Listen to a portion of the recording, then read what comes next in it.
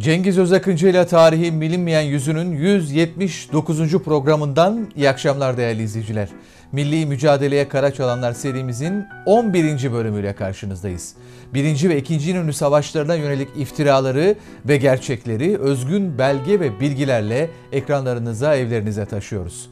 Bu akşam programımız Milli Mücadele'de Batı Cephesi Komutanı İsmet İnönü'yü 1. ve 2. İnönü savaşlarında kötü yönetim isnadıyla suçlayan yayınlar hangi tarihlerde kimlerce başlatıldı ve günümüze dek kimlerce nasıl yayıldı sorusuna açık net bir biçimde tabii ki belgeleriyle cevap verecek. Ama önce geçen haftadan bu haftaya sarkan bir başlığı tamamlamak istiyoruz. Sayın Özakıncı Nihal Atsız'ın kardeşi Necdet Sancar'ın İnönü ile hesaplaşma kitabı olduğunu söylemiş ayrıntıları bu haftaya bırakmıştı. Sayın Özakıncı'ya sözü devrediyorum. Hocam buyurun. Evet geçen hafta aslında bu e, kitabı konu edecektik fakat yetişmedi bu haftaya sarktı. Fakat bu haftaki konumuzla da bağlantılı çünkü e, birinci ve ikinci İnönü Savaşlarına ilişkin e, suçlamalar, kötülemeler devam ediyor bu programımızda da. Hatta onu kronolojik olarak bugüne kadar getireceğiz. Ne zaman başladı ve bugüne nasıl geldi? Kimler ee, yazdı, kimler öbürüne aktardı, evet, aynı yalanları evet. paylaştı. Hepsini göreceğiz değil mi hocam programda? Evet. Evet. Tamam. Ve biraz hızlı gideceğiz çünkü epey kalabalık.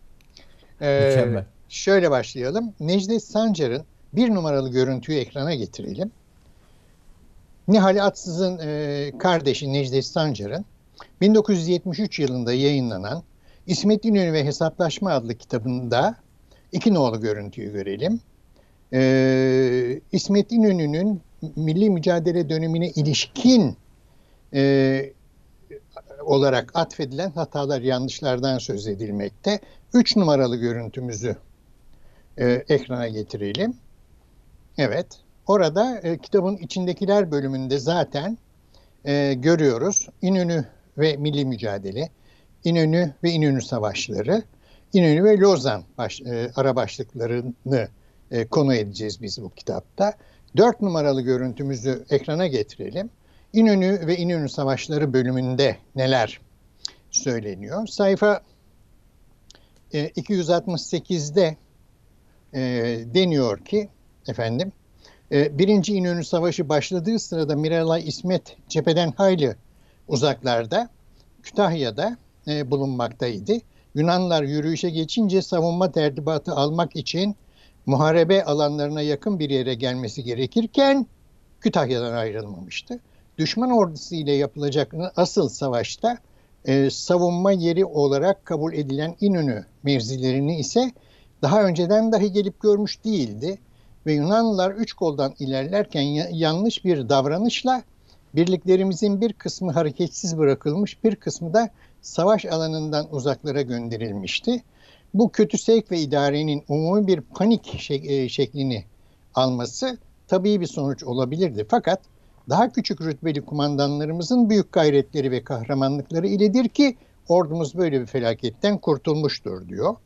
Ve son e, e, 269. E, sayfada e, son paragrafta diyor ki savaş alanlardan uzaklarda oturup kalışı İnönü'nün, İsmet Bey'in son gün muharebe meydanına geldikten sonra verdiği emirlerin yetersizliği ve çekilmeyi gündüz düşman gözü önünde yaptırması gibi hareketlere rağmen diyor.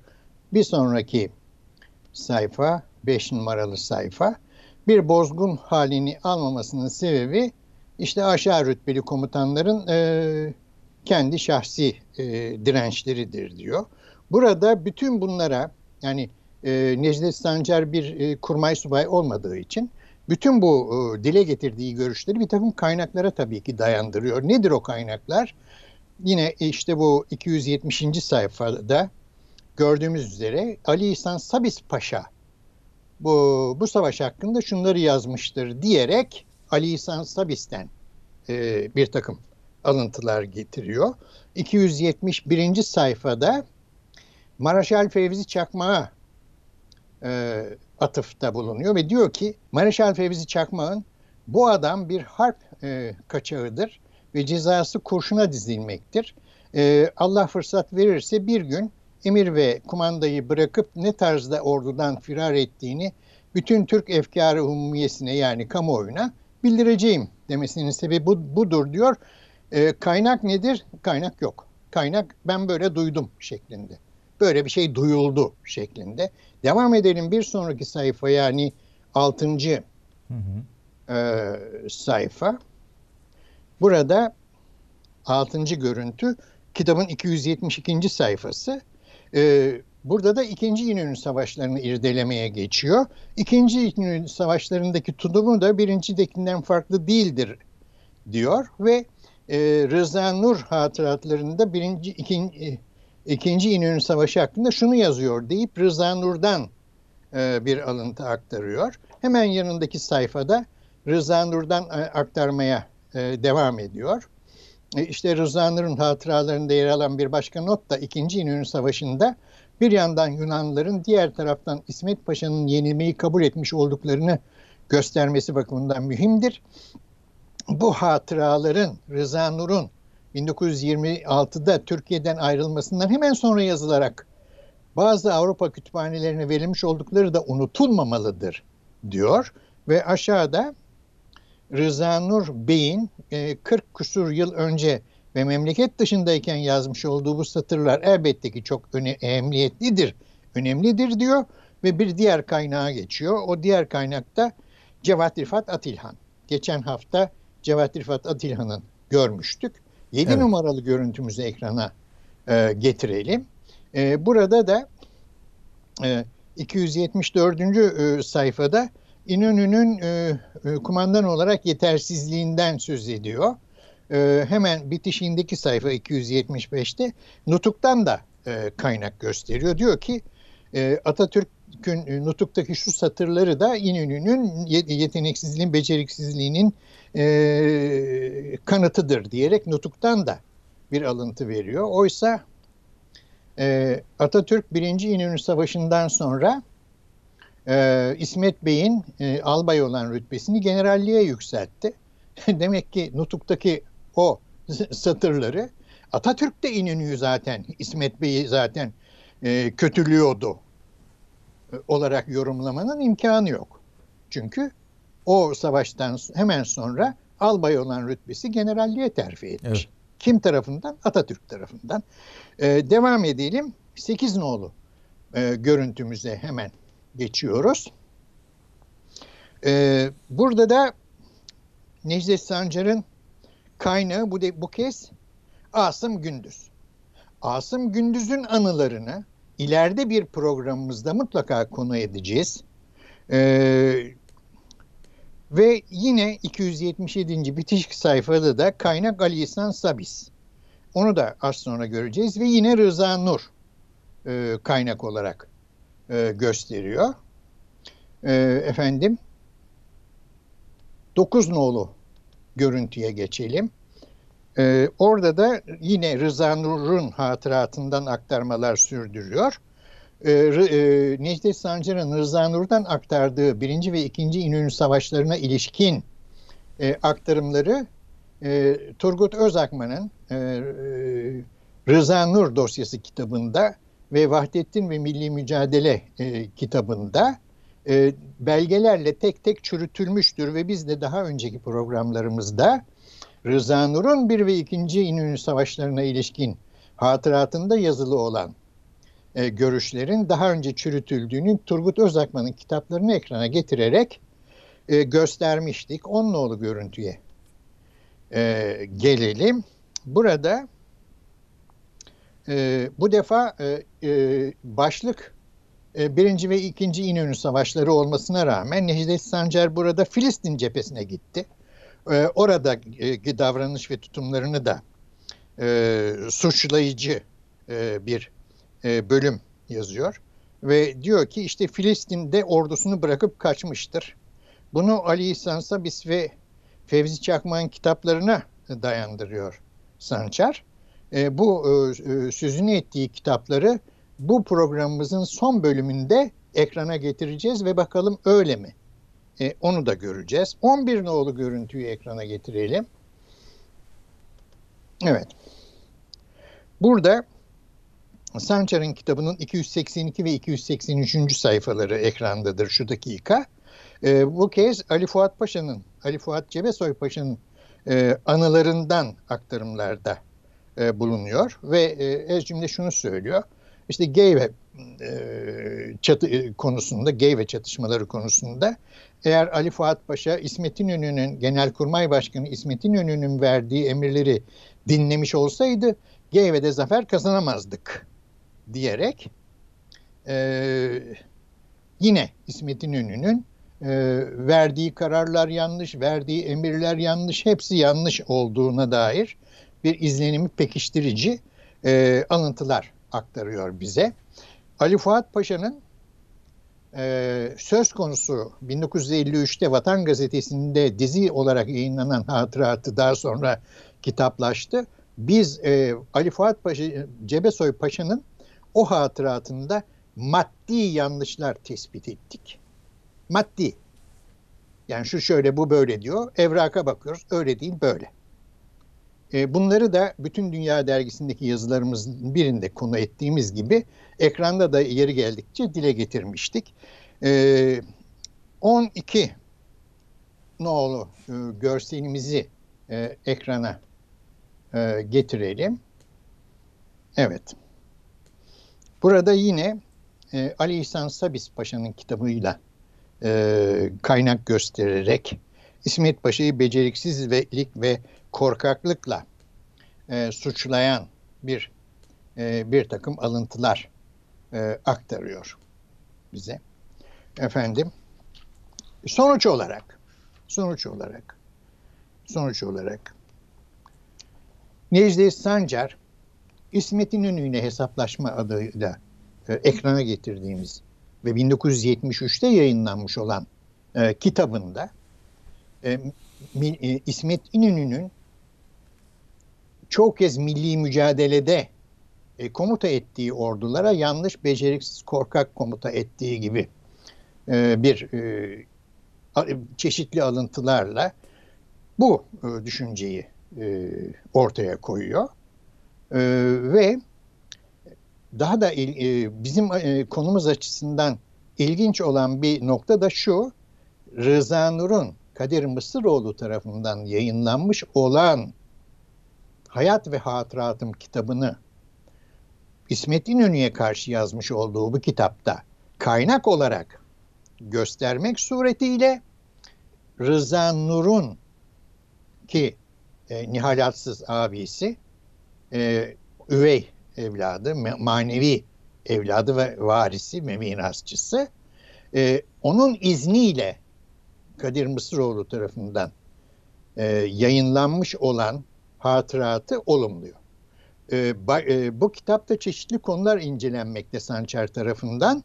Sançar kitabın daha önceki bölümlerinde Rıza Nur'un alın, e, Mısıroğlu tarafından yayınlanan e, hatıratını daha evvel Rıza Nur hayattayken kendisinden dinlediklerini yayın Mısıroğlu'nun yayınladığı kitap ile Rıza Nur'un sağken kendilerine anlattığı hatıraları birbirine örtüştüğünü de söylüyor önceki sayfalarda.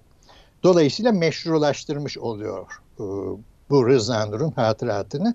Dahası kendisi de Rıza Nur'un anlattıklarını doğru kabul ettiğini e, dile getirmiş oluyor. oluyor. Şimdi efendim.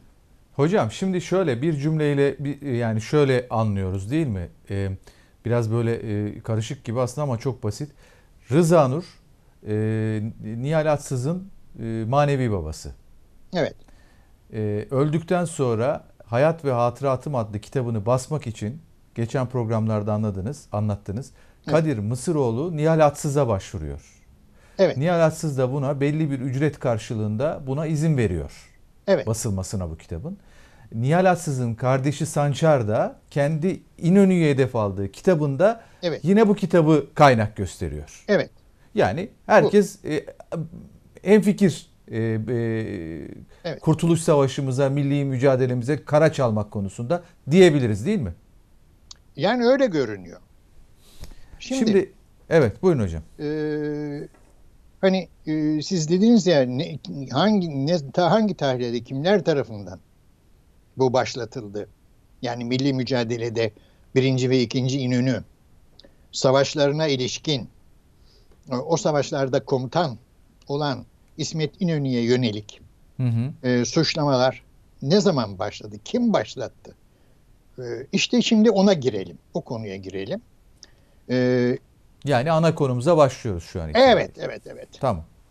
Ali İhsan Sabis e, kısaca e, biyografisini şöyle e, yani herkesin bileceği yani daha doğrusu yakın tarihimizle e, İstiklal Savaşı tarihiyle ilgilenen insanların çoğunun bildiği şekilde 30 Ekim e, 1918'de mütareke imzalandı. Mondros Mütarekesi.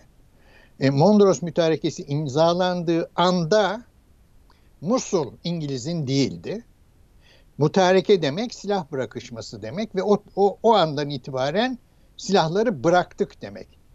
Mütarekeden sonra Musul'un İngilizler tarafından işgal edildiğinde Musul'u İngilizlere teslim etmekle itham edilen e, General Ali Fuat e, e, Ali İhsan Sabis. Sabis. Evet, bunu herkes anlar. Ne demek istediğimizi. Yani e, tabii ki çok e, daha geniş bir özgeçmişi var. Konumuz açısından hatırlatıcı bir özgeçmiş olsun diye bunu belirtelim. E, e, Ali İhsan Sabis 6 ciltlik bir e, İstiklal ha, Harp Hatıralarım e, kitabı var. İşte bu kitabının e, Necdet Sancar tarafından başvuru kaynağı olarak e, gösterilen, çeşitli anılar, a, a, alıntılar aktarılan e, cildi 5. cilt şu an ekranda.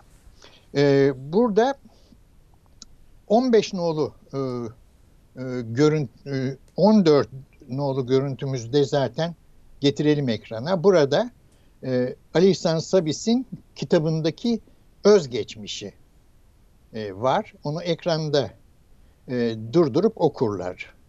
E, 15 nolu görüntümüzü ekrana getirelim.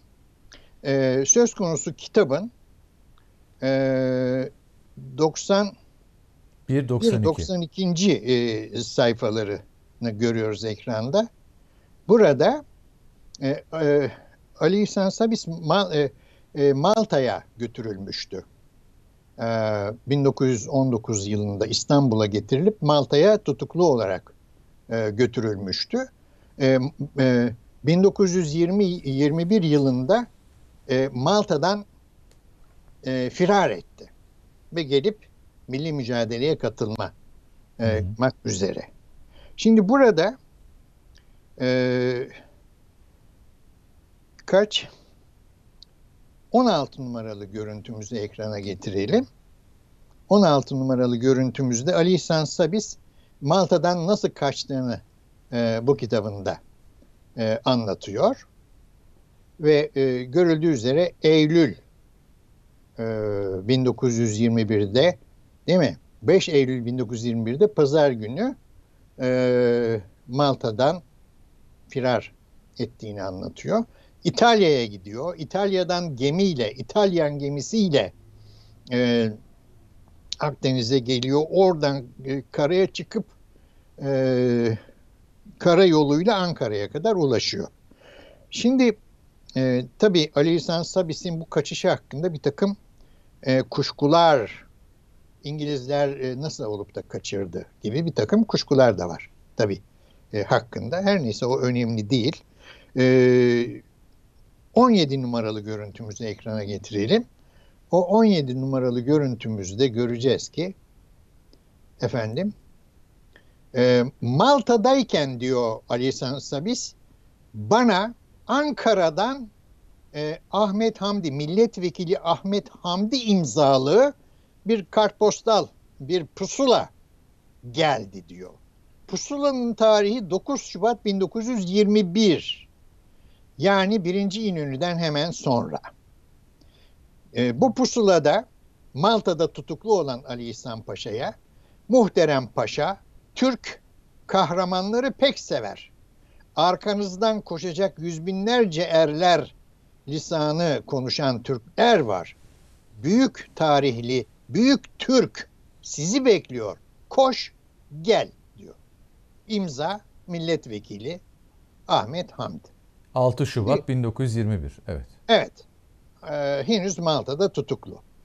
Birinci İnönü Savaşı'ndan hemen sonra böyle bir e, pusulanın kendisine iletilmesini e, Ali İhsan Sabis bu kitabında hem demek ki birinci İnönü'de İsmet İnönü'nün beceriksizlikleri dolayısıyla beni e, daha o zaman bile beni e, kaçıp gelmem konusunda bana şeyler. Yani kendisini daha Malta'dayken İsmet İnönü atılacak, beceriksizsin sen, defol denecek İsmet İnönü'ye.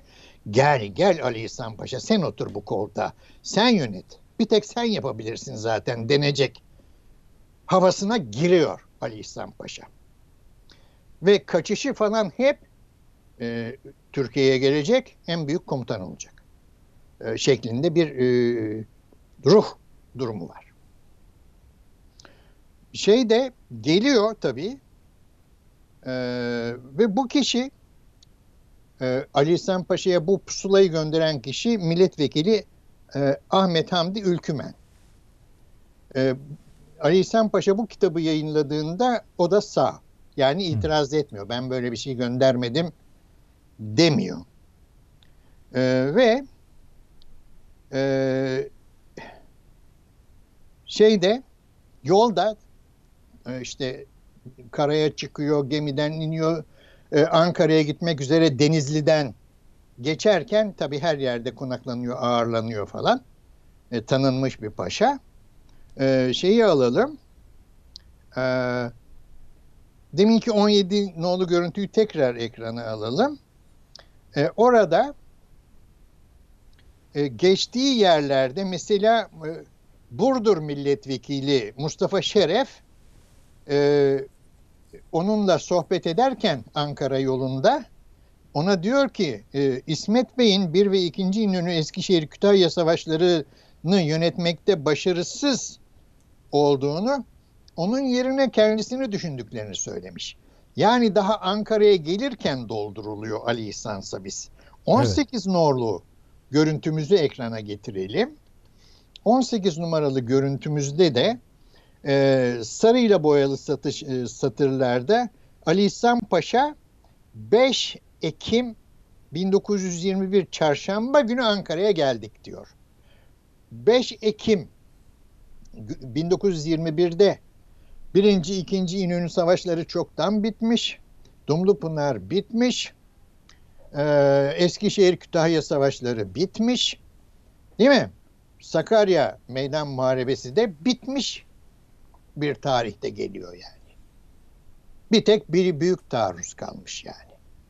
Ondan sonra. 19 numaralı görüntümüzü ekrana getirelim.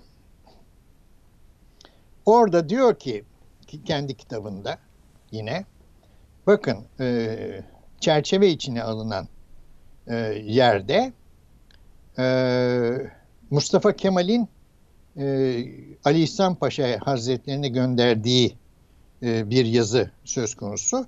Bu yazıda kendisinin işte birinci ordu komutanı olarak e, İsmet Paşa'nın komutası altında birinci ordu yani Batı cephesi komutanı İsmet Paşa'nın komutası altında bulunan birinci orduya komuta edecek olarak görevlendirildiği e, söylüyor. Diyor ki burada bu emri okuyunca tepemden vurulmuş gibi oldum. Fevzi Paşa'ya ki Fevzi Paşa tebliğ ediyor Mustafa Kemal'in imzalı yazısını. Fevzi Paşa'ya Paşa'ya İsmet Paşa'nın emri altına girmek benim için pek ağır bir şeydir. Biraz düşüneyim diyor. Hemen kabul etmiyor görevi yani. Onun dışında 20 nolu görüntüyü ekrana getirelim. Efendim. Bu da 19 Haziran 1922 tarihli e, bir belge. Bu belgede şöyle ekrana alayım. Evet. Birinci Ordu kumandanlığına yani Ali İhsan Paşa'ya kimden Mustafa Kemal Paşa'dan geliyor. Ne diyor burada bu yazıda? Ali İhsan Paşa bu süre zarfında sürekli uyumsuzluk gösteriyor. İsmet Paşa'nın verdiği hiçbir emri sorgusuz sualsiz yerine getirmek, emir komuta zinciri içinde askerce davranışlarda bulunmuyor. Her emri eleştiriyor, her emri yerine getirmeyi ayak sürüyor.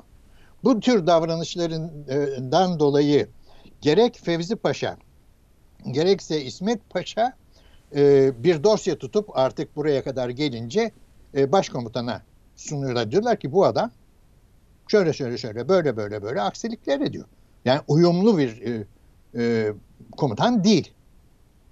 İşte bunun üzerine Mustafa Kemal Paşa bakın ne diyor? Birinci Ordu yani Ali İhsan Sabis Paşa'ya dürüst bir hattı hareket takip etmediği anlaşılan dürüst bir hattı hareket, dürüst bir davranış tarzı izlemediği anlaşılan Birinci Ordu Kumandanı Ali İhsan Paşa'nın kumandanlığına son verilerek e, yasal e, e, muamele işlemlere devam edilmek üzere Milli Savunma Bakanlığı emrine verilmesi e, uygun görülmüştür. İmza Başkomutan Mustafa Kemal diyor. Geçelim 21 nolu e, görüntüye. Burada da burada da e, Ali İhsan Paşa'nın kendisi anlatıyor. Biz bunları Ali İhsan Paşa'nın kendi kitabından aktarıyoruz. 3 Temmuz 1922 tarihli bir belgede Ali İhsan Sabis Mustafa Kemal Paşa tarafından İstiklal Mahkemesi'ne veriliyor. Evet. 23 nolu görüntümüzü ekrana getirelim. Burada da Atatürk e, Nutuk'ta Ali İhsan e, Sabis'in e, o olumsuz davranışlarından dolayı e, bütün bu e, işlemlerin yapıldığını yani bir tür tasfiye e, edildiğini e, söylüyor. Nutuk'taki e, bölümde de biraz e, ağdalı bir Türkçe olmakla birlikte diyor ki birinci ordumuzun kumandasını Malta'dan gelmiş olan İhsan Paşa'ya vermiştik. İhsan Paşa'nın kendisini divanı harbe kadar götüren e, e, hal ve hareketlerinden dolayı ordu kumandanlığından uzaklaştırılması gerekti. Gerçekten de Ali İhsan Paşa ordunun e, düzen e, güvenliğini, disiplinini ve genel yönetimini çıkmaz bir yola düşürecek biçimde bir e, davranış biçimi izledi. Mesela örnek ordusunda aşağı kumandanları üst kumandanlara itaatsizliğe sevk edecek durumlar yarattı. Örneğin ambarlarının mevcudunu günlerce haber vermeyerek ve haber verdirmeyerek genel e, iaşe bunalımının geçerli olduğu bir sırada ansızın ambarlarının e, mevcudunun kalmadığını ve açlık te- tehlikesi bulunduğunu bildirdi. Ast rütbeli kumandanların itaatsizlik ve görevsizliğini e, teşvik sistemine dahil olarak ordunun itaat ve e, hissi vazifesiyle oynayacak kadar entrikaya müsait olduğu kanaatını oluşturdu diyor.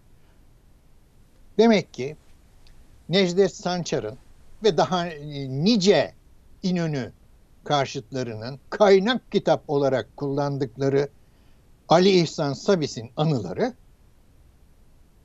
nasıl bir yazara e, nasıl yani İnönü ve Atatürk'le ve Fevzi Paşa'yla İtalya'dan kaçıp gelir gelmez ordunun disiplinini bozan ve alt üst ilişkisini allak bullak eden bir e, dinden dolayı divanı harbe verilip emekliye sevk edilmiş bir komutan. Hayatı boyunca e, İnönü'ye ve Fevzi Paşa'ya yazdığı her makalede onlar e, söz konusu olduğunda e, öfke, kin ve nefretini e, kusmuş bir yazardan söz ediyoruz. İşte e, İsmet İnönü karşıtı propagandada e, kronoloji sırasına göre ilk e, karşı yayın, aleyhte yayın, kötüleyici, suçlayıcı yayın işte burada Ali İhsan Sabis'ten geliyor. Bundan sonraki tarih sırasıyla aktarırsak Rıza Nur geliyor. Rıza Nur Ali İhsan Sabis'ten bir sonra 24 nolu görüntüyü ekrana getirelim. Orada e, bu e, Rıza Nur'un Türkiye dışında Mısır'dayken bastırdığı e, kendi dergisi, Türkoloji dergisi, Türk Türk Bilik dergisi 8. sayısı. Bu Şubat 1938'de yani Hocam soyadını niye öyle yazdırmış? Nohur yazmış ya da. E işte o Fransızca Fransızca'ya mı özeniyor? Fransızca öyle yazılıyor diye. Derginin bir kısmı Fransızca, bir kısmı Türkçe. Ama hocam yani e, Türkçe isim Nur diye yazılır. Hani bu Rıza Nur hani evet. Türkçeyi, Türklüğü çok önemseyen bir isim kişi. E ama Kendi işte burada bile... öyle yapmış ne hikmetse. Şimdi burada e, işte bu Atatürk'ün ölümünden yaklaşık 10 ay kadar önce e, Mısır'da yayınlandı ve Türkiye'ye sokmadığı bu dergide milli mücadeleye yönelik ilk eleştirilerini e, burada yayınlıyor. E, 25 nolu görüntümüzü ekrana getirelim. Burada e, 7 Ocak 1946'da Demokrat Parti kuruluyor. 4 Temmuz 1946'da Demokrat Parti çizgisinde bir gazete kuruluyor. Yeni Türkiye gazetesi ve e, 26 nolu görüntüyü ekrana e, getirelim. Evet. Burada e, Ali İhsan Paşa hani e, İstiklal Mahkemesi'ne verilmişti Atatürk tarafından. Evet. İşte burada İstiklal Mahkemesi'nin başka, e, başkanı e, İhsan Er Yavuz. İhsan Er Yavuz işte bu Demokrat Parti çizgisinde e, e, bir e, emekli eski milletvekili. 1946'da yukarıda gösterdiğimiz gazetede yazdığı yazısında e, Ali İhsan Sabis'in İstiklal Mahkemesi'ne verildiğinde dava dosyasının kendisinin önüne geldiğini, bu dava dosyasındaki suçlamaları incelediğini, bu suçlamaların e, istiklal sivil e, olan istiklal mahkemeleri alanının dışında mesleki olarak e, divanı harbi e, ilgilendiren bir dosya olduğundan dolayı e, İstiklal Mahkemesi'nin yetkisizlik e, belirten bir karar veriyor. Hı. Fakat bu e, bunu anlatıyor 5 e, Ağustos 1946'daki Türkiye Gazetesi'ndeki köşe yazısında İhsan Er Yavuz. İşte Ali İhsan Sabis de kendi kitabına onun o köşe yazısını olduğu gibi almış. Burada İhsan Er Yavuz e, e, milli mücadele komutanlarına e, özellikle İsmet İnönü'ye e, kötüleme getiriyor bu yazısında. Kötülemelerde bulunuyor. Demek ki tarih sırasına göre e, Ali İhsan Sabis'ten sonra Rıza Nur, Rıza Nur'dan sonra İhsan Er Yavuz başlıyor milli mücadele dönemine yönelik karalarmalarına. Efendim, onun bir kitabı da ekrana getirdik. Evet, Kara Defter. Bu İhsan Er Yavuz'un Milli Mücadele ve e, e, Lozan adlı anıları. 1947'de e, vefat ediyor İhsan Er Yavuz. Fakat e, bu anıları e, 2000 e, kaçta? 2014'te e, bulunup yayınlanıyor. Yıllar sonra bulunup yayınlanıyor. Hı hı. İşte bu e, anılarında da 28 Zincinoğlu görüntüyü ekrana getirelim. 28. Evet. Burada e, kitabın içinde yani e, e, alıntı var. Yunanlara karşı Osmanlı ordusunun ilk, e, ilk başarısı birinci İnönü Muharebesi. Bu 29. görüntüyü ekrana getirelim. Orada bakın ne diyor. Evet, kitabın içinden bir bölüm. Osmanlı ordusunun başarısını anlatıyor birinci İnönü'de fakat İsmet e, Paşa'yı yerden yere vurduğu e, sayfalar bunlar. Bu da yine Ali İhsan Sabis'in İsmet İnönü'ye getirdiği e, kötülemelerin, suçlamaların aynısını e, bu kitapta da İhsan Eryavuz'un kitabında da e, görüyoruz. E, bu da ilk demek ki e, e, milli mücadele e, sürecine ilişkin ilk kötülemelerden e, biri de bu e, oluyor demek ki. İhsan Eryavuz'u hemen şöyle söyleyelim. İhsan Eryavuz'un Yavuz soyadındaki Yavuz sözcüğü Havuz Yavuz davası diye çok ünlü bir tarihsel dava vardır. Yavuz e, gemisinin hı hı. E, ile ilgili bir ihalede e, bir milletvekilinin Denizcilik Bakanı'nın o tarihteki Denizcilik Bakanı'nın e, ihaleyi verdiği Fransız şirketinden çok büyük miktarda bir rüşvet aldığı e, tespit edilmiştir. Cumhuriyet tarihinde Yüce da, Divan da rüşvetçilik dolayısıyla yargılanan ilk bakan İhsan Eryavuz'dur. Yani milli mücadele sırasında İstiklal Sava e, Mahkemesi Başkanlığı yapmış olan İhsan Eryavuz 1920'li 27'de e, Denizcilik Bakanı iken rüşvet almaktan Yüce Divan'da yargılanıyor, suçlu bulunuyor. Milletvekilliği düşürülüyor ve hapse atılıyor. İşte bu kişinin İsmet İnönü'ye yönelik e, kinini e, işte anılarında ortaya koyduğunu görüyoruz. İsmet İnönü'ye suç atan hiç kimse yok ki biraz araştırıldığında milli mücadeleden dolayı suç atan e, kendisinin İsmet İnönü'yle şahsi bir hesabı olduğunu e, görüyoruz. Tıpkı Ali İhsan Sabis gibi İhsan Özgüven'in de İsmet Paşa ile kişisel sorunu var. Canı yanmış yani. Gelelim 30 e, nolu görüntümüze. Burada da e, Ekrem Rize adlı e, birinci ve ikinci İnönü savaşları sırasında 24. Fırkanın e, genel kurmay e, kurmay subayının hatırası e, yayınlanıyor. Nerede? Demokrat Parti çizgisinde yayın yapan Zafer Gazetesi'nde yayınlanıyor bu. Ne zaman? 30-31 Mart 1951'de. Niye o tarihte yayınlanıyor? Çünkü ikinci İnönü'nün yıl dönümüne denk getiriliyor. Burada ne diyor? Her işte ikinci İnönü yıl dönümünde gazetelerde bu kutlanır eder e, deyip başlıyor kötülemeye bir ve ikinci İnönü'yü. Ve sonuçta 31 nolu görüntüyü ekrana getirelim.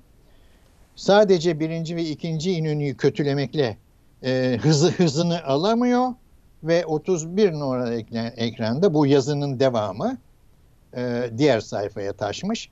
Diyor ki Birinci Dünya Harbi'nde e, Gazze cephesinde 3. Kolordu kumandanı bulunuyorken İsmet İnönü bir ihtiyatsızlık neticesi olarak Sebi'de hezimete uğramış ve 8. orduyu güç bir duruma sokmuştu.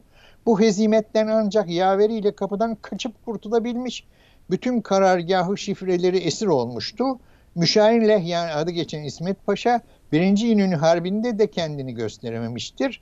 Bu e, maziye, bu geçmişe rağmen Atatürk onu önemli görevlerde kullanabilmek için onun prestijini tamir etmek istiyordu ve ikinci İnönü Harbi buna vesile oldu diyor e, Ekrem Rize.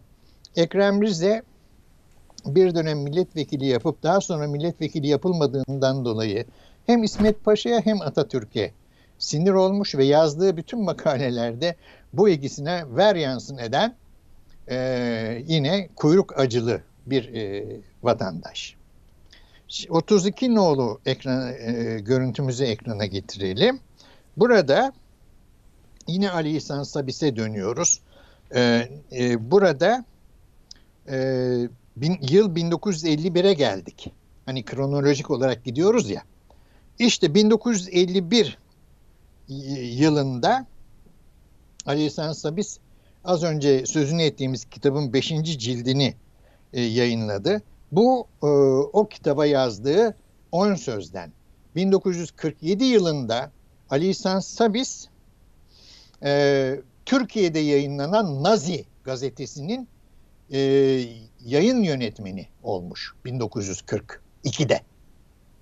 Cevat Rıfat Atilhan nasıl Nazi ise ee, Ali İhsan Sabis de yıllar sonra 1942'de Türkiye'de Alman devletinin yayınladığı, Alman Nazi devletinin yayınladığı Turkish Post e, gazetesinin 1942 yılında genel yayın yönetmeni olmuş durumda. Türkiye'de Alman propagandası yapıyor, Nazi propagandası yapıyor ve sağa sola imzasız mektuplar gönderiyor. Takip ediliyor e, istihbarat tarafından. O imzasız e, yazıları kendisinin gönderdiği suçüstü yapılıyor, yargılanıyor, hüküm giyiyor ve hapse atılıyor. Ne mektupları 1900 gönderiyormuş hocam? İşte e, çeşitli Ha, yani. yerlere. Davanın Anladım. ayrıntıları var yani. Anladım. İşte tamam. burada ön, ön sözde bunu anlatıyor. Bu ön sözde ve hemen ondan sonra 33 nolu görüntüye gelelim. Bu ön, ön sözün son sayfasını görüyoruz. Ee, Teşvikiye 1 Eylül 1951. Afyon Milletvekili Emekli General Ali İhsan Sabis. Nasıl oldu da Afyon Mi- Milletvekili oldu Ali İhsan Sabis? Çünkü e, İsmet İnönü yönetimine karşı çıkan herkese buyurun e, dendi. E, bir anti İnönü birleşik cephe kuruldu. İnönü ile sorunu olan herkes e, Demokrat Parti'ye kendisini e, angaje etti. Ve Ali İhsan Sabis de bu arada aynı şekilde e, Demokrat Parti'ye girdi ve işte bir e, asker geçmişinden dolayı seçildi ve milletvekili oldu. İşte 1951'de milletvekili olduktan sonra yayınlamaya başladı. Ee, Kurtuluş Milli Mücadele döneminde İnönü olan hesaplaşmalarını. Ondan sonra 30 e, üçü de gördük. Evet. Yani 1951'de Demokrat Parti milletvekili seçildikten sonra tam bir bayrak açma. İnönü savaşlarına, e, milli mücadelede e, İsmet İnönü'nün e, konumuna, emirlerine, buyruklarına, tutum ve davranışlarına yönelik ağzına ne gelirse. Yok kümeste saklandı, yok oraya kaçtı, iki top atıldı, korktu, kaçtı gibi pek çok e, yani bayağı e, kin kokan, kin kin kokan. Yani kin, kininden Evet, aynen. olduğu Kişisel kin kokan yayınlar. 34 numaralı görüntümüzü ekrana alalım. Ben de bakayım buradan. Evet. Burada Cevat Rıfat Atilhan'ın da e, kadrosu arasında bulunduğu Hür Adam gazetesi 1951 ve 52 yıllarında e, yayınlanmış bir e, gazete bu. E, yetmez mi artık ey İnönü diye bu Hür Adam e, gazetesi Hür e, Adam diye bir film var onu da çağrıştırsın e, e, izleyicilerimize. E, bu gazete Said Nursi reklamı yapar. E, Kazım Karabekir reklamı yapar. İsmet İnönü karşıtıdır. İsmet İnönü'nün Lozan kahramanı e, ünvanına da karşıdır. Onu e, e, Lozan'da yeni, yenilen adam diye ta- tasfiye eder. 35 nolu görüntümüzü ekrana getirelim. Burada da yine aynı Hür Adam e, gazetesinin daha önceki gördüğümüz sayfa 9 Kasım 1951'di. Şimdi ekrandaki sayfa 8 Nisan 1952. E, Cevat İrfat Atilhan gürülüyor. İstiklal Harbi'nin tarihi böyle mi yazılır diye. Çünkü çünkü Cevat Rifat Atilhan'a sorulmamış. Yani ona sorulmadan yazılan bir İstiklal Savaşı tarihi zaten geçersizdir.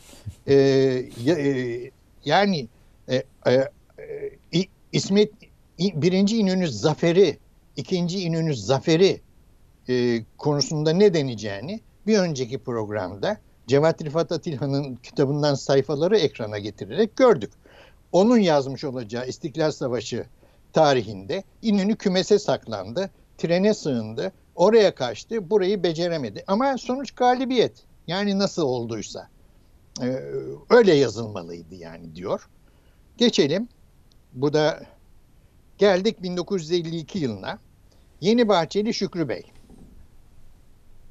Yeni Bahçeli Şükrü Bey de Kurtuluş Savaşı yıllarında İstanbul'da Anadolu'ya adam kaçıran e, karakol örgütünden. Burada Milliyet Gazetesi'nin 17 Mayıs 1952 tarihli sayısında Yeni Bahçeli Şükrü Bey de Demokrat Parti e, çizgisine e, girmiş. İsmet İnönü'ye sövünce Demokrat Parti'nin kapıları açılıyor. O bir anahtar çünkü. İsmet İnönü'nün son nutukları münasebetiyle diyor. İşte efendim burada e, ne diyor e, son satırda? İnönü Harbi'nde de tekrar ordusunu perişan ve darmadağınık bir vaziyette terk ederek kaçmaya teşebbüs etmiş bir kumandandır. Bütün bu laflar e, İnönü kahramanı e, ünvanını lekelemeye yönelik. Yani e, kaçtı şu bu gibi sözler. Gelelim e, 1952'de çok önemli bir e, yani günümüze kadar taşınacak olan bir yayına. Tevfik Bıyıklıoğlu. Tevfik Bıyıklıoğlu e, birinci ve ikinci İnönü Savaşları sırasında Batı Cephesi Kumandanı İsmet İnönü'nün Albay İsmet İnönü'nün sonra e, General İsmet İnönü'nün Harekat Şubesi Başkanı. 1952'de o da kafa kaldırıyor. Yani herkes 1950'de Demokrat Parti seçim kazandıktan sonra vurun e, Abalı'ya diyerek İnönü'yü dart hedefi yapmış oklar atıyor ya herkes. Böyle atınca da Demokrat Parti'nin gözüne giriyor ya. Bu da Tevfik e, Bıyıklıoğlu beyefendi de e, başlıyor yaylım ateşine. Birinci ve ikinci İnönü savaşlarından dolayı e, yayınlarına. 37 nolu görüntümüzü ekrana getirelim. Bu e, albay e, İhsan Ilgar'ın, emekli albay İhsan Ilgar'ın Ünlü zaferlerini İsmet Paşa mı kazanmıştı? Başlıklı e, yazı. Yazan kim? Emekli kurmay albay Tevfik Bıyıklıoğlu. Yayınlayan kim? Hayat Tarih Mecmuası. Bakın altta ne yazıyor? Türk Tarih Kurumu eski as başkanı aynı zamanda diyor. Yani 1931'deki e, 30'daki başkanından söz ediyor. Efendim burada 38 nolu görüntümüzü de e, ekrana getirelim. Kötülemeler başlıyor. Bu da Milliyet gazetesinde yine e, 1952 yılı 12 Temmuz'unda 11 ve 12 Temmuz 1952 tarihli milliyetlerde Tevfik Bıyıklıoğlu'nun iki gün üst üste iki yazısı oldu. Başlık İnönü'ndeki bir ve ikinci muharebelerin iç yüzü e, şeklinde. Burada altta bakın ne diyor. 10-11 Ocak gecesi yani birinci İnönü'nün e, kazanıldığı gece e, diyor ki cephe kumandanı yukarıda adı geçen e, Oklubalı köyünde kendisine e, katılan 4 ve e, 11. tümen komutanları ve e, birçok subay ve erlerle karışık olarak bu köyün bir samanlığında e, geçirdi. Gözümüze uyku girmeden yarın yapacağımız işler hakkında konuşmakla sabahı bulduk diyor. İşte bu satırlar ileride Cevat Rifat Atilham vesaire herkese gördünüz mü e, samanlığa sığınmış. E, yani birinci İnönü çatışmaları sırasında e, e, Batı ordusu kum, kum, kumandanı İsmet Bey samanlığa sığınmış dedikodusunun nüvesini e, Tevfik Bıyıklıoğlu 1952'de Milliyet'te yayınlanan bu yazısında ortaya atmış. 52'den bugüne 69 yıl bu e, şey tekrarlanmıştır. İnönü mü? Bırak canım. O birinci İnönü'de samanlığa saklandı. Şekline dönüşmüş ve bugüne kadar bu gelmiştir. Gelelim 1955 yılına. Ya, tam orada bir noktalı virgül koyalım hocam. 55'ten devam verelim. edelim ikinci Aynen. bölümde. Aynen. Aynen. Peki. Bir kısa ara verelim. Ara tamam. herkes bir soluklansın. Siz de bir soluklanın. İzleyicilerimiz de çaylarını kahvelerini tazelesinler. Tamam. Kısa aranın ardından e, karşılarında olacağız çünkü.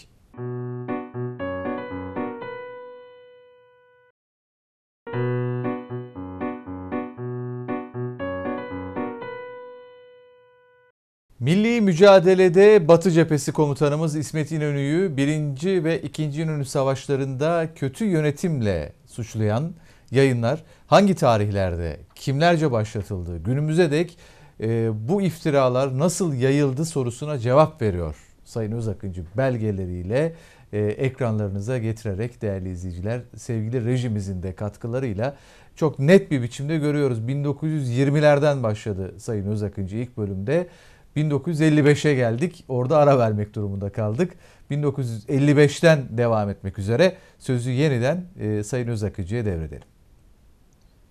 Ee, en son Tevfik Bıyıklıoğlu'nun Milliyet Gazetesi'ndeki e, İsmet İnönü'yü birinci ve ikinci İnönü Savaşları'ndan dolayı e, kötüleyen, suçlayan makalelerini e, ekrana getirmiştik. 1952'den ee, sonra 1955'e geldik. 55'te ne oldu?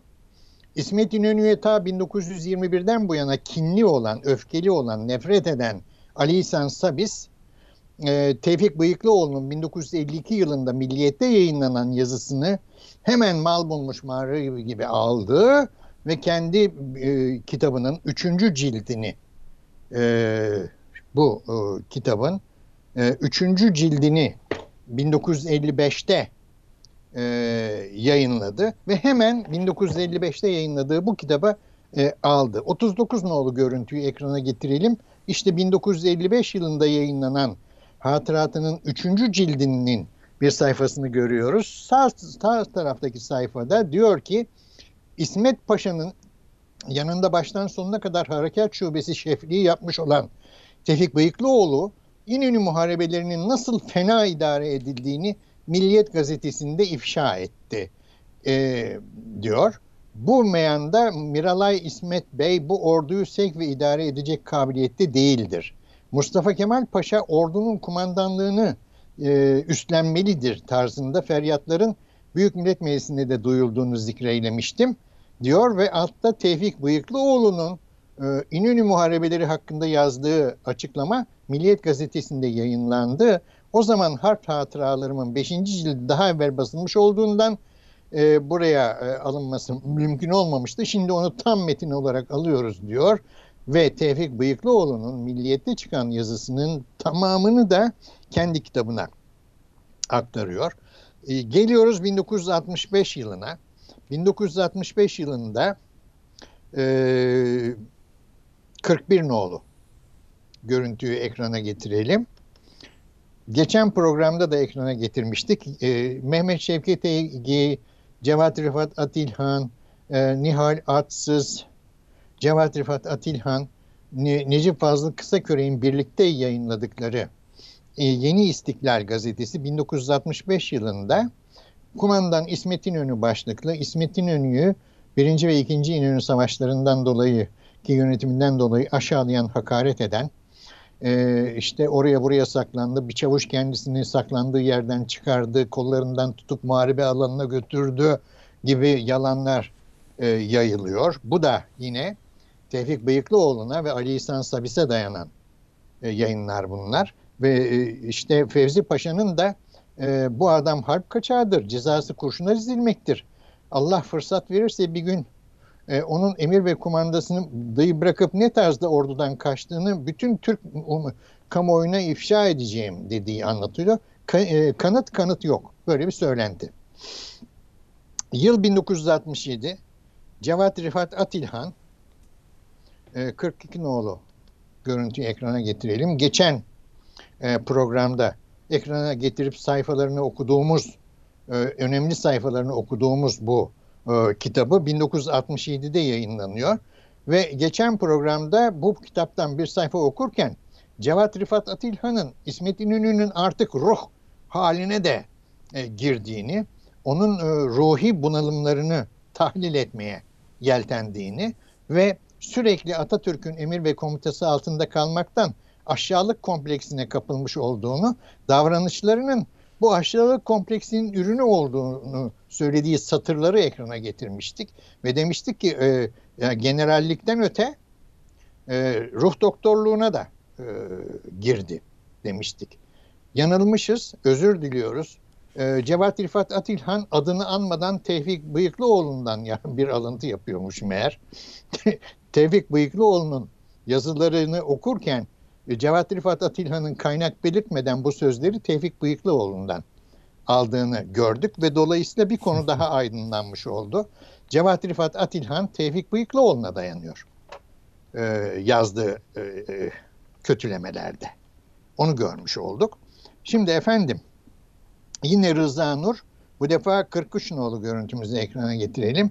Rıza Nur'un da kitabı artık 1900 67'de e, Kadir Mısırlıoğlu tarafından yayınlandı ve İsmet İnönü'nün 1 ve 2. İnönü Savaşlarına ilişkin kötülemeler bu kitap aracılığıyla da Türk kamuoyuna e, yayıldı. 1968 yılına geldiğimizde Yeminli İnönü düşmanı Feridun Kandemir'in e, bir e, kitabının yayınlandığını görüyoruz. 44 nolu görüntümüzü ekrana getirelim. Orada göreceğiz ki Feridun Kandemir yaşamı boyunca İsmet İnönü'süz ve İsmet İnönü'yü aşağılamaksızın tek satır yazmamış olan e, Feridun e, Kandemir.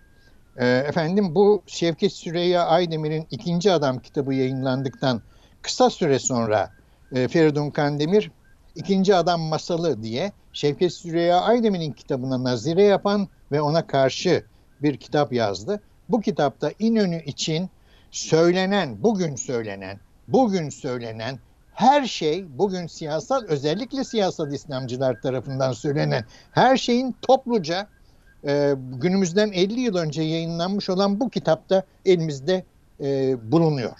Bütün iftiraları bir kitapta toplamış Tüm, yani. Toplamış. Tümünü toplamış. Kaynak olarak.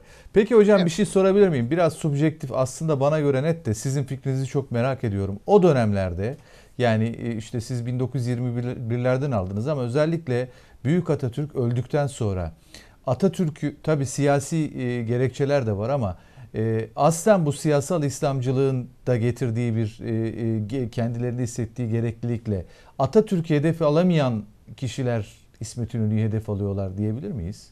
Yani niye Şimdi bu kadar is- çok İsmet İnönü'ye e, İsmet İnönü'yü tür... ben de eleştiriyorum. Fakat ben neden dolayı eleştiriyorum? Atatürk öldükten sonra ülkemizi emperyalizmin uydusu haline getirdi e, yaptığı ikili anlaşmalarla diye eleştiriyorum. Hayır, Kurtuluş Savaşı milli Fakat, mücadele sırasındaki e, durumları eleştirirken yani birinci ve ikinci Dünya Savaşı'nda ahıra işte savaş değildi ki ahıra saklandılar, kazanmadılar evet. falan gibi asıl milli mücadelemize hedef alan iftiralardan bahsediyorum. İşte o iftiraları yapanların hiçbirisi İnönü'ye şunu söylemiyor siz bu ülkeyi Amerika'nın uydusu haline getirdiğiniz eleştirisi tık bile çıkmıyor ağızlarından. Yok samana saklandın, yok top gürültüsünden korktun, yok sağırsın, yok e, doğru emir vermedin gibi. Ama Türkiye'nin e, bu bu kişilerin hiçbirisi Türkiye'nin soğuk savaşta Amerika ile müttefik yapan İsmet İnönü'nün Amerikan Türkiye'yi Amerikan müttefiki yaptığına dair tek sözle tek eleştirisi bile yok. Yok dinsizliği yaydın, yok şudur yok budur. Ama asla as ve asla Türkiye'yi e, e, Amerikan emperyalizminin uydusu haline getirdin diye tek laf bu insanlardan çıkmıyor. Şimdi gelelim. Bunu ben de ayrıca... şöyle düşünüyorum hocam. Bence e, Kurtuluş Savaşı e, döneminde, milli mücadele dönemindeki iftiraların ana nedeni, ana hedefi e, Büyük Atatürk. Onu hedef şimdi alamadıklarından geleceğiz. öyle mi? Tamam. Bence şimdi öyle. Geleceğiz. Şimdi Ama Tevfik onun şimdi belgesini göreceğiz. Yankılarına tamam. devam ediyoruz. Tamam hocam. Levent'ciğim. tamam hocam. Özür dilerim. Şimdi, Sustum. Buyurun. şimdi e, gelelim 1968 yılına. E, yine İhsan Ilgar e, emekli albay. E, 45 nolu görüntümüzü ekrana getirelim. E, belgelerle Türk Tarihi dergisi daha çok askerlerin yazdığı ya da askeri tarihçilerin yazdığı bir dergi. Mart 1968 sayısında e, emekli albay İhsan Ilgar Türk İstiklal Harbi başlıklı e, yazı dizisinde e, bakın ne diyor? Tevfik Bıyıklıoğlu'nun e, yazısının kendisinde olduğunu söylüyor. Gelelim Falih Rıfkı Atay'a. 1960 yıl yine 1968. Falih Rıfkı Atay'ın Çankaya diye kitabının birinci basımı 1960'larda yapıldı. 60'ın başlarında yapıldı. İkinci, e, birinci basımında birinci ve ikinci İnönü'ye ilişkin hiçbir eleştiri yer almaz. Fakat 1968'de yapılan ikinci basımda 1968'de yapılan ikinci basımda şu işte bunda Tevfik Bıyıklıoğlu'nun e, yine bakın karşımıza Tevfik Bıyıklıoğlu çıktı. E, birinci ve ikinci İnönü savaşları hakkında yazdığı yazdıklarının kendisinin arşivinde olduğunu, kendisine de bir kopyasının iletildiğini söyler. Kaç 46 nolu görüntümüzü ekrana getirelim. Bakın orada ne diyor? 46. Evet. Evet. Burada bakın diyor ki fakat İnönü zaferler üzerindeki emir ve komuta payı üzerinde anlaşmazlık büyüktür.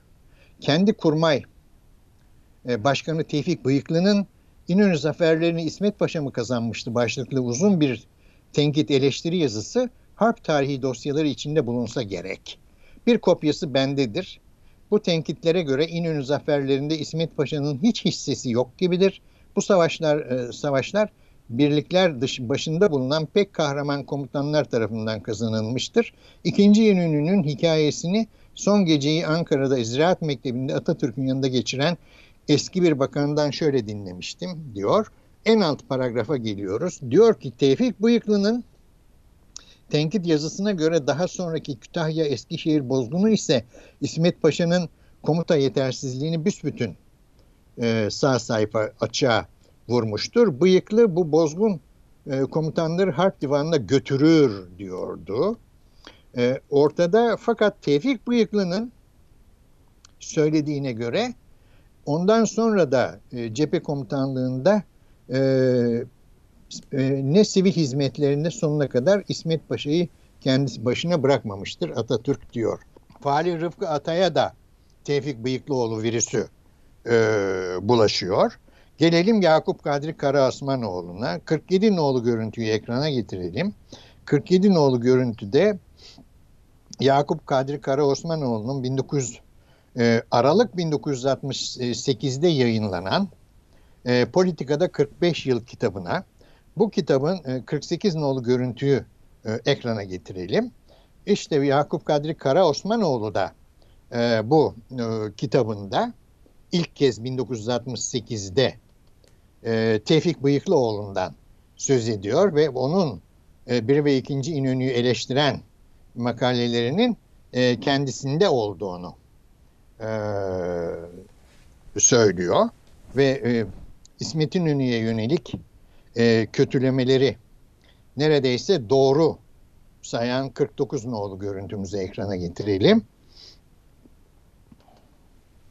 Evet, burada da diyor ki işte evet daha dün olmuş bir hadise gibi hatırlıyorum. Milletvekillerinin geceli gündüzlü toplantılarında Garp cephesi kumandanına yüklenmeyen suç kalmamış. Hatta askeri kariyerinden e, yetişme bazı mebuslar arasında onun bir diğer silah arkadaşıyla birlikte divanı harbe sevkini istemek e, sertliğini gösterenler de olmuştu diyor. Dipnotta bütün bunların e, Tevfik Bıyıklıoğlu'nun e, notlarından e, alınma e, olduğunu e, belirtiyor. 50 numaralı görüntüyü ekrana getirelim. Bu e, da yine e, Yakup Kadri Karaosmanoğlu'nun Vatan Yolunda adlı kitabı. Bu kitapta e, Yakup Kadri Karaosmanoğlu 1921 yılında 1. 2. İnönü günlerinde Ankara'dadır. İsmet Paşa ile direkt sohbet etmiştir. Ortamı biliyor ve o tarihte yazmış olduğu köşe yazısı da bu kitaptadır. 190 180 derece dönmüştür Yakup Kadri Karaosmanoğlu. Ee, 1965'e kadar öve öve bitiremediği İnönü'yü Tevfik Bıyıklıoğlu'nun yazısı önüne konunca aa deyip kötülemeye başlamıştır. Bu da araştırmadan, bakmadan, etmeden görüş değiştirenlerden diyelim. Gelelim e, e, hani İsa var bir de vaftizci Yahya var ya. E, Tevfik, Tevfik Bıyıklıoğlu'nu prezente eden İhsan Ilgar. Emekli albay. 69'a geliyoruz. 1969'da 51 nolu görüntüyü ekrana getirelim. Genelkurmay'da e, görev yapmış e, askeri tarihçi Albay İhsan Ilgar e, bu burada e, bu dergi Hayat Tarih dergisi 1969 e, da yayınlanmış olan Hayat Tarih dergisi. Burada diyor ki 51 e, nolu görüntüyü ben de ekrana alayım kendimde. Burada e, bu Hayat Tarih'te yayınlanan yazısının son sayfası. Birinci sayfasını e, ilk bölümde görmüştük bunun. Burada diyor ki İsmet Paşa'nın bu hizm e, hizmeti Atatürk ve Maraşal'ın yani Fevzi Çakmak'ın bin defa tecrübe edilmiş yüksek idarelerinin yanında pek silik kalır. Hatta Garp cephesinin, Batı cephesinin İzzettin, Kemalettin Sami gibi kolordu kumandanlarının bile İsmet Paşa'dan fazla milli mücadele emek ve hizmetleri vardır. Emekli Kurmay Albay Tevfik Bıyıklıoğlu'nun yazısı e, da burada son bulmaktadır deyip e, Tevfik Bıyıklıoğlu'nun bakın diyor ki 1952 yılı 27 Mayıs'ında yazılan bu yazıyı ha, Tevfik Bıyıklıoğlu'nun yazısını Hayat Tarih dergisinde yayınlayan e, İhsan Ilgar 1969'da. Bu yazının kendisine 1952 yılı 27 Mayıs'ında Tevfik Bıyıklıoğlu tarafından yazılıp verildiğini söylüyor burada. Ve o yazıyı Yakup Kadriye de vermiş, e, Falih Rıfkı Atay'a da vermiş, e, vermediği kalmamış. büyük olasılıkla Necip Fazıl'a da vermiş, hmm. e, büyük olasılıkla Cevat Rifat Atilhan'a da vermiş olduğunu anlıyoruz. E, hatta e, İnönü'nün baş düşmanı Ali İhsan Sabis'e de vermiş ve onadan da görüş istemiş. Ne diyorsun bu konuda diye. Ali İhsan Sabis de e, Tevfik Bıyıklıoğlu'nun e, İhsan, e, İhsan Ilgar tarafından kendisine ulaştırılan yazısının kenar boşluklarına bir takım notlar düşüp ona vermiş. Tabii o da daha beter kötülemiş yani.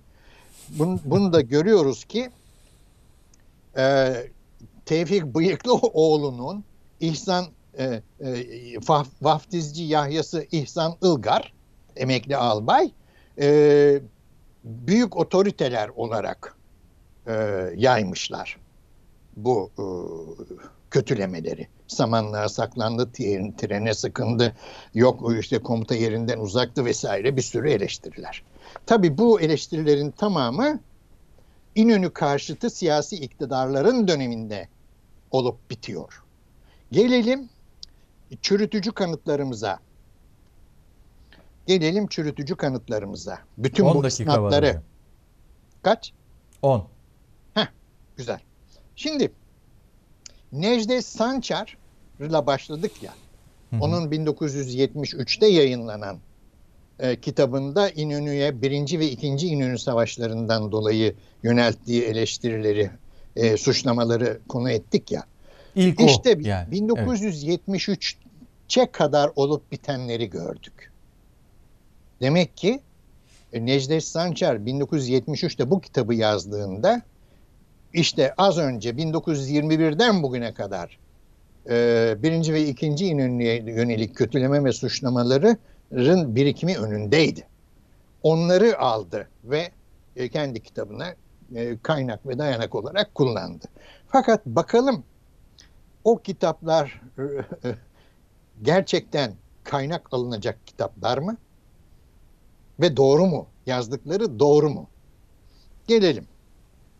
Bir, Tevfik Bıyıklıoğlu 1952 yılında gerek e, İhsan Ilgar'a verdiği 27.5 1952'de İhsan Ilgar'a elden verdiği, el yazısıyla verdiği İnönü Savaşları değerlendirmesi gerek hemen birkaç ay sonra Milliyet Gazetesi'nde yayınlanan işte birinci, ikinci İnönü'nün iç yüzü diye yazdığı, iki gün üst üste yazdığı makalelerde e, İsmet İnönü'ye etmedik laf bırakmıyor.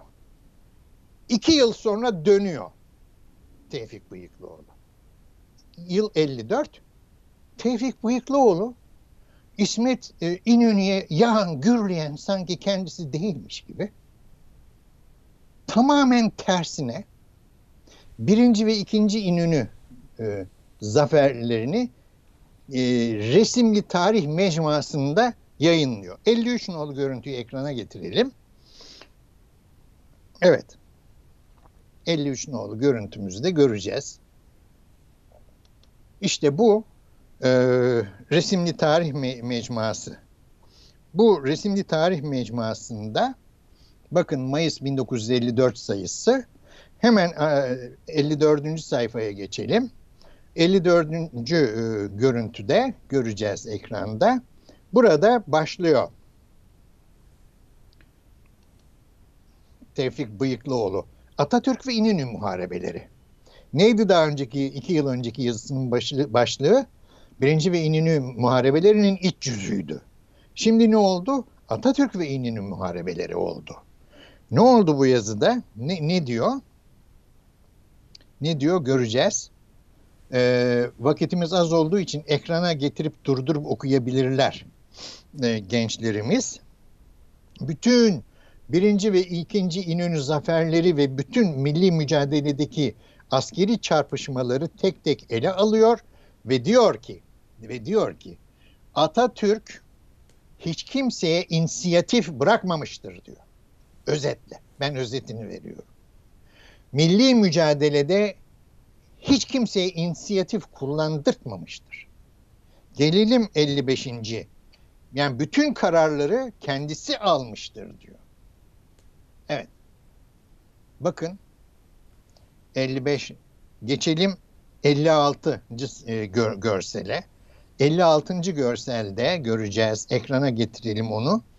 Evet, burada ben de yakından okuyayım. Evet, bakın ne diyor. Burası önemli.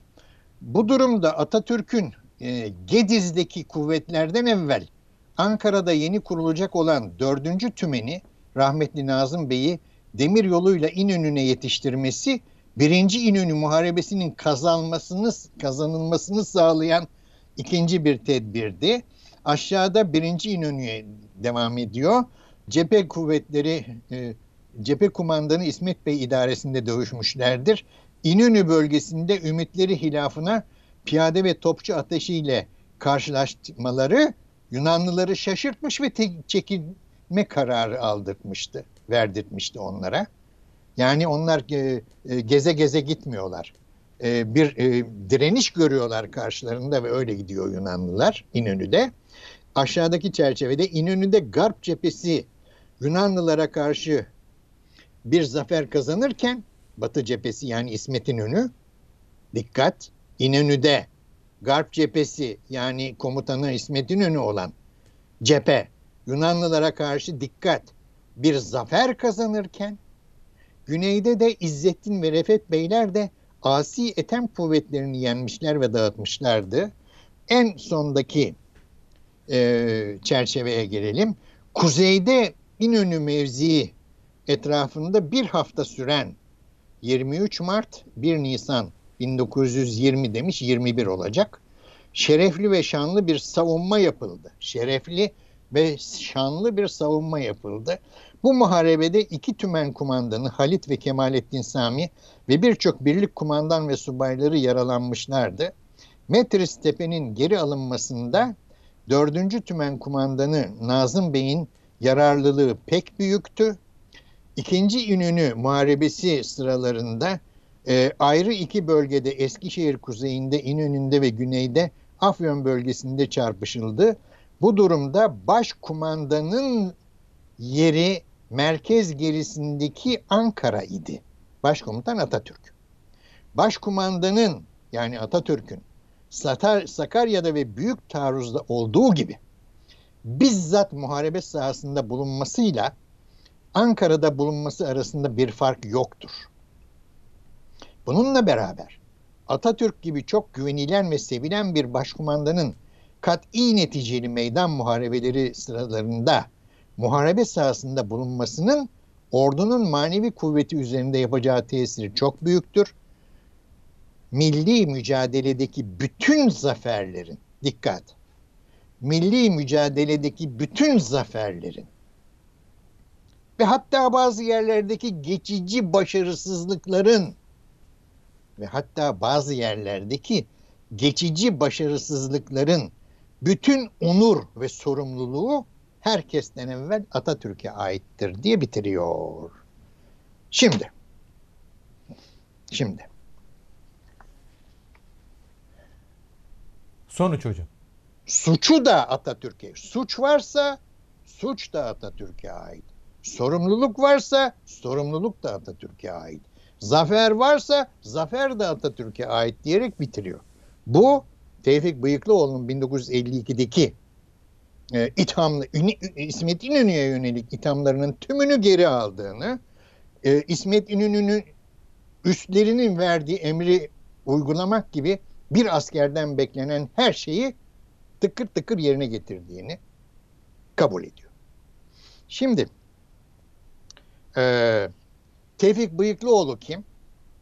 Tevfik Bıyıklıoğlu 1933 yılında bizzat Atatürk tarafından rüşvet aldığı, bizzat Atatürk tarafından tespit edilip uzaklaştırılmış birisi.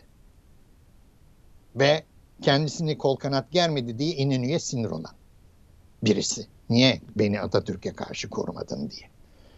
Mısır Hidivi'nin Türkiye'ye yapacağı bir takım işlerden dolayı tutup ondan e, rüşvet istemiş. Ve e, ve almış olduğu tespit ediliyor. Şimdi bakın geçen e, e, e, Hocam 57 bir, nolu bir, bir, bir dakikamız var. öyle mi? Hemen hızlı hızlı geçelim. Tamam. 57. Ee, değil o mi? zaman e, sadece e, de, değin- değinerek mi geçelim? Şöyle evet hocam. diyelim. Noktalayalım Şöyle yani. diyelim o zaman. İs- e, birinci ve ikinci İnönü savaşlarından dolayı Batı Cephesi Komutanı İsmet İnönü'ye yönelik e, bu programımızda geniş geniş kronolojik sırasıyla e, anlattığımız ithamları, suçlamaları ve iftiraları çürüten belgeleri gelecek programımızın başında ilk bölüm olarak geniş, Geniş olarak geniş. vereceğiz. Aynen. Aynen hocam. Şimdi şuraya sıkıştırmayalım. Çünkü, Çünkü cevaplar da önemli. gibi değil. Evet. Biliyorum siz şimdi nerelerden belgeler, ateseler falan gelecek önümüze biliyorum Evet. tahmin ediyorum. Ee, Fevzi Çakmak bütün bu olup bitenlere ne dedi? Evet, Fevzi Çakmak bütün bu olup bitenlere ne dedi? Evet. Fevzi Çakmak 1950 yılında öldü. Değil mi? Evet. Yanılmıyorsam. Evet. 50'ye kadar yaşadı. Hatta 1946'da bir parti kurdu Millet Partisi. Evet. 1944'te İsmet İnönü tarafından eme- yaş haddinden emekliye ayrıldı Genelkurmay Başkanlığından. Buna çok içerlediği söyleniyor. Demek ki İsmet İnönü'ye karşı onun da böyle bir kızgınlığı e, olduğunu düşünebiliriz. Buna rağmen Fevzi? Çakmak birinci ve ikinci İnönü, Eskişehir, Kütahya, Dumlupınar e, savaşlarında İsmet İnönü'yü nasıl değerlendirdi? Bunu e, gelecek programda bütün o suçlamaların tümünü çökertecek e, Fevzi Çakmak belgeleriyle izleyicilerimizin karşısında olacağız. Ve devam edeceğiz. Ee, Evet. Milli mücadelemize kara çalanları kronolojik bir sırayla ifşa etmeye. Onun Evet. arkasındaki konu da sürpriz olsun o zaman. Hocam çok teşekkür ederiz. Ee, önemli Onun bilgiler. arkasındaki konuyu söyleyelim. Peki söyleyelim hocam. Tamam.